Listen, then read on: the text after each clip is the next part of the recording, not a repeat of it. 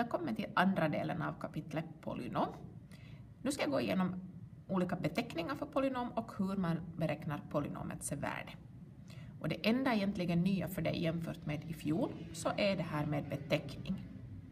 Som du ser här på första uppgiften så står här att beräkna polynomet och det här är nytt. Det här uttalas P av x. En stor bokstav med en parentes innanför ett tecken på att det är fråga om ett polynom. Man betecknar polynom med versaler. Man brukar välja P, Q eller R, det är de vanligaste. Och det som det egentligen betyder är alltså att efter likamenstecknet så finns det ett polynom och variabeln i polynomet så skriver man innanför parentesen. Alltså variabeln i det här polynomet som man kallar till P är x. Och den här uppgiften går ut på att beräkna att vad har det här polynomet för värde när x är lika med minus 2. Polynom kan du inte annars beräkna ut vad det blir, men om du vet vad variabelns värde är så då kan du räkna vad blir polynomets värde.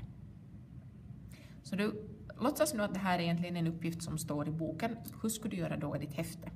Jo, du börjar med att skriva upp själva polynomet. Det vill säga x i kvadrat minus 4. Och då insätter vi att x är lika med minus 2. Jag insätter, kan också förkorta det till bara ins, att x är lika med minus 2. Och vad får vi då? Jo, på varje ställe här i uppgiften som det står ett x så byter du nu till minus 2. Måste skriva innanför parentes för att visa att det är hela det där x som ska räknas i kvadrat. Så sätt en parentes runt minus 2. Sen har vi inte flera x i vårt polynom, så det är bara att skriva ut vad som du har kvar. Och räkna.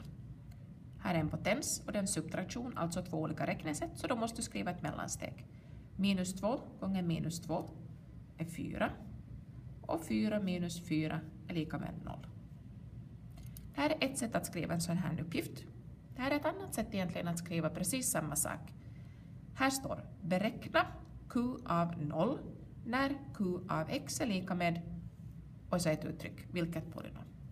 I den här uppgiften heter alltså polynomet q, ingen skillnad egentligen vad det heter, det kan vara som sagt stor R också. Polynomet är, har variabeln x och heter alltså q. Och det här uttrycket betyder alltså att vi ska räkna att vad blir polynomets värde när x är lika med 0. Så om du jämför de här två med varandra, här står ett x, men där står en nolla.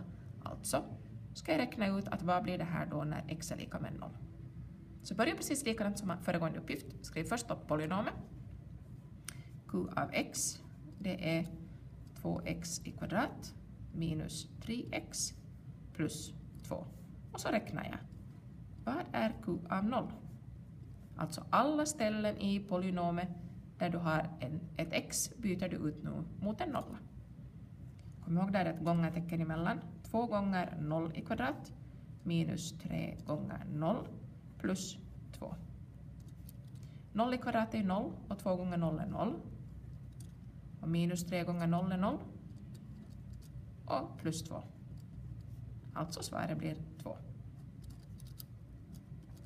Så man kan antingen skriva att vad variabeln ska vara eller så skriver man det innanför parentesen istället för x och räknar q av någonting. Lycka till med att beräkna värdena för polynomen.